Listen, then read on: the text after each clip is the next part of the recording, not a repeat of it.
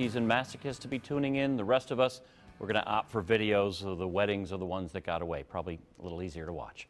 Cardinal fans, you should send Prince Fielder a thank you card since it was his All Star Game homer that gave the Cards home field advantage. They owe him that much. As for Prince, he owes us nothing. Nothing. All I really want out of athletes is their best effort on the field and to at least act in a non embarrassing way off it.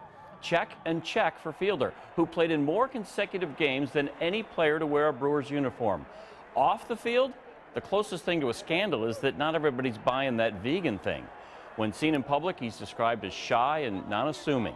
It's no wonder we'll see number 28 jerseys in the stands of Miller Park for years to come. We just probably won't see it on the guy playing first, whoever that turns out to be.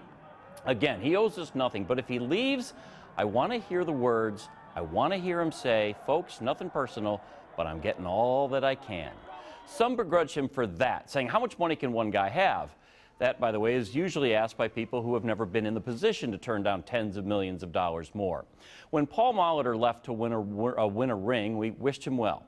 But Prince can't really use that excuse, can he? This is a team that could be, in fact, should be contending for the World Series.